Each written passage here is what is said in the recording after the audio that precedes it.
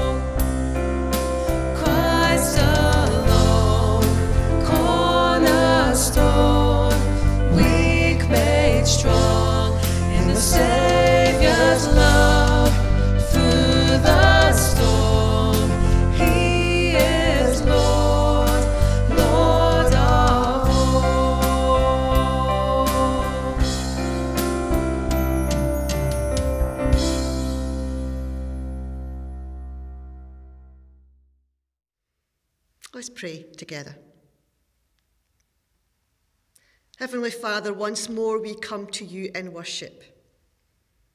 We thank you for the week that has passed, for all that has been asked of us, and for all that has been gifted to us. We want to praise you, to express our love to you, and to thank you for Jesus, whose life, death, and resurrection has provided the pattern and the power for holy living. We come together in his name and pray that as a result of our worship today, our lives will be enriched for the kingdom's sake. We enclose within our circle of prayer those whose lives touch our own family members, friends, neighbours, colleagues.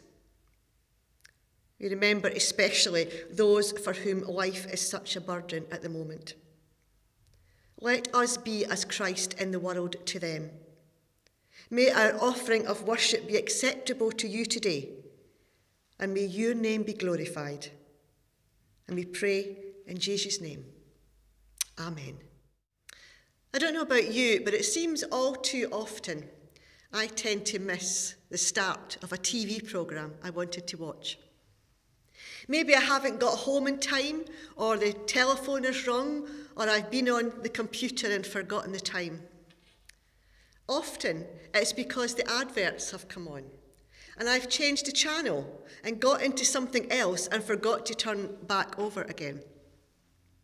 The problem is, if you miss the beginning of a programme, it's sometimes hard to understand what's going on because so often it's the introductory scenes that set up the plot for the rest of the programme.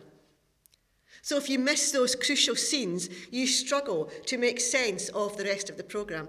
And I would suggest that's even more important when you are studying a book of the Bible.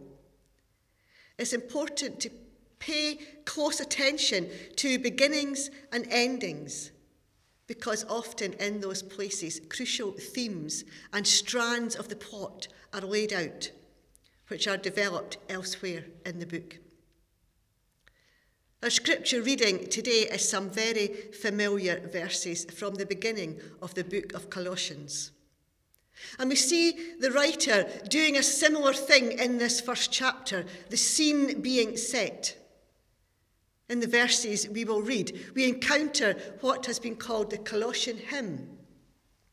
And it's referred to as a hymn not in the sense of something to be sung, but more a densely packed set of theological statements, full of incredible affirmations about the person of Christ. Let me give you a bit of background. The book of Colossians was probably written at the same time as those of Philemon and Ephesians. Colossae was, at the time of writing, an unimportant town with a mixed population, a pluralistic society, including Greeks, Romans, Jews, and Christians, along with much astrology and superstition. The church at Colossae had been planted some time ago but wrong teaching was now affecting the church. Something called syncretism was the issue, which was a, a mixing of Christianity with other ideas. And it meant that the message and person of Jesus Christ was no longer preeminent. So, this letter to the church at Colossae was written by the Apostle Paul to address that issue. Listen as the scripture is read to us from the beginning of Colossians. Christ is the visible likeness of the invisible God. He is the firstborn Son to all created things. For through him God created everything in heaven and on earth, the seen and the unseen things, including spiritual powers, lords, rulers, and authorities. God created the whole universe through him and for him. Christ existed before all things, and in union with him, all things have their proper place. He is the head of his body, the church. He is the source of the body's life. He is the firstborn son who was raised from death, in order that he alone might have the first place in all things. For it was by God's own decision that the Son had himself the full nature of God. Through the Son, then, God decided to bring the whole universe back to him God made peace through his Son's blood on the cross and so brought back to himself all the things, both on earth and in heaven. So before we look at those verses in more detail, let's sing again. Song 87 follows on nicely from that scripture reading. The first verse says, Jesus, what a beautiful name. Son of God, Son of man, Lamb that was slain. Joy and peace, strength and hope, grace that blows all fears away.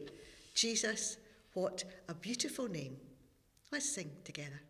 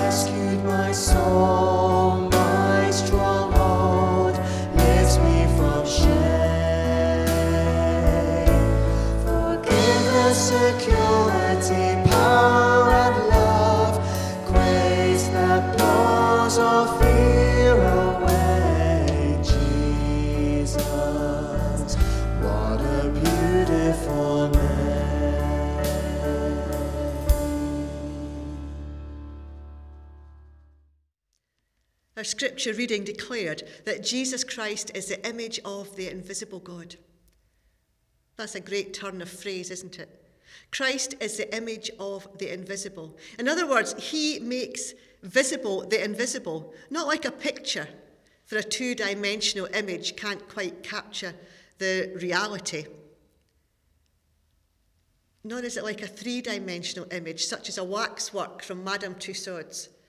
No matter how accurate or lifelike they may be, such images fall short of what Colossians has in mind.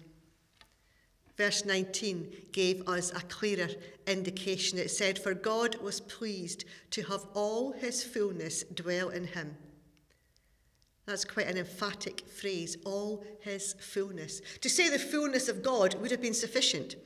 To say all the fullness of God is to emphasize that all God is whatever that might include, is to be found in Jesus Christ. Christ makes visible the invisible. It's a profound statement of incarnation, our fundamental Christian belief that God became human in Christ Jesus, and in so doing, became what we are in order to make us what he is. And Colossians goes on to describe Christ as the firstborn of all creation. Now, that's not to suggest that Jesus himself is created, but rather that all things are created in him, through him, and for him. Again, an emphatic description things in heaven and on earth, visible and invisible, whether thrones or powers or rulers or authorities. All things have been created by him and for him. And in him, all things hold together. And if that's true, it means that without him, everything falls apart. Now, I don't know about you, but I've certainly found that to be true in my own life, and I'm sure you have too. But then the punchline comes in verse 20. Through him, God was pleased to reconcile to himself all things, whether things on earth or things in heaven. There's that picture of redemption on an epic cosmic scale. The Colossian Christians, it would seem, were perhaps in danger of making their God too small, in danger of thinking of redemption in personal rather than cosmic terms, in danger of overestimating their own role in redemption and underestimating the abundance of God's grace which reaches to all creation. By pointing them to the supremacy of Christ and reminding them that it's through the blood of that same Christ that God is pleased to reconcile all things to himself. The letter to the Colossians lifts their gaze and ours and invites us to focus on the one who is all in all. This is a reminder we would do well to heed. We too are often guilty of making our God too small, guilty of thinking of redemption in personal rather than cosmic terms, guilty of thinking and speaking of mission in terms of human response rather than the abundant generosity of divine grace. And the Apostle Paul here is not content simply to remind them and us of the supremacy of Christ. What he really wants to go on to point out to is the implications of the death and resurrection of this supreme Christ. You who were once estranged and hostile in mind, he has now reconciled in his fleshly body through death, so as to present you holy and blameless and irreproachable before Him. The point of our salvation is reconciliation and sanctification. Put another way, the destination, the end point of salvation in Christ is not that we believe the right things Not even so much that we do the right things, but rather that we become the right thing. People reconciled with God and presented as holy, blameless, irreproachable. The good news of the gospel is that whoever or whatever we have been in the past sets no limit on who and what we can become in the future. For in Christ and through Christ, we can be transformed, reconciled, presented as holy and blameless, whatever our past or our present may be. I heard a politician being interviewed the other week. He was asked about his faith, and he said, I sometimes pray. I'm like regular Church of England folk. It's part of my life and my identity. But I don't think it defines my politics. What a statement. Surely, if you are a Christian, if you profess to have a regular prayer life and a relationship with God, then that has to define everything else about you. God is not remote from our world, our choices, our values, or even our politics. Rather, we serve God by the choices we make in the everyday. You know, in a year where we have seen so many strange and scary things happening, At a time when we are told to prepare for difficult financial times as we look to recover economically from the COVID pandemic, we desperately need a reconnection between our politics and our faith in the everyday. We have elections coming this week. Please include our government, our politicians, and our country in your prayers. So, what might it mean to love Christ in the everyday with all your heart, soul, and strength and mind. Christ, who is the image of the invisible God, in whom all things in heaven and earth were created, things visible and invisible, in whom all things hold together. Meaning that without him, everything falls apart. What does it mean to love that Christ? Is that the Christ we worship both through our acts of service and our times of devotion? Is our God too small? Too small for the complexities of our world and our politics? Too small for the challenges facing the local churches? Too small for the problems facing our communities? Do we keep God in a nice, contained, and safe space called Sunday worship?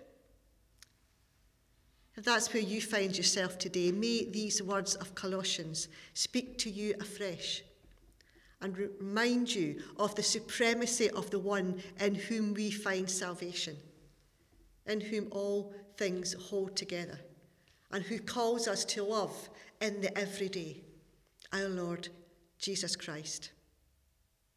We sing a final song together, 374 in your songbook. It says, Jesus is Lord. Creation's voice proclaims it. For by his power each tree and flower was planned and made. Jesus is Lord. The universe declares it. Sun, moon, and stars in heaven cry, Jesus is Lord. Let's sing together.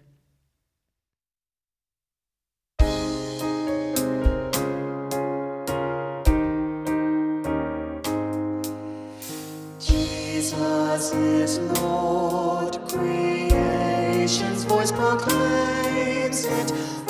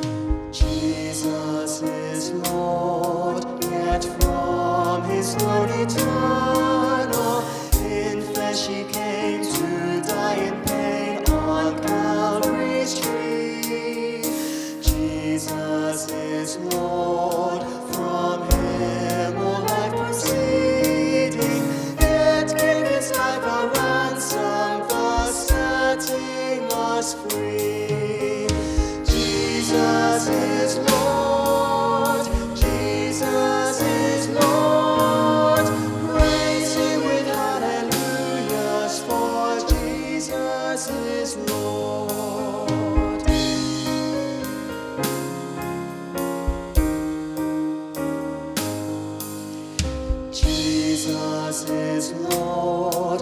Oh, sin, the mighty conqueror. From death he rose, and his shall on his name. Jesus is Lord. God sent his Holy Spirit.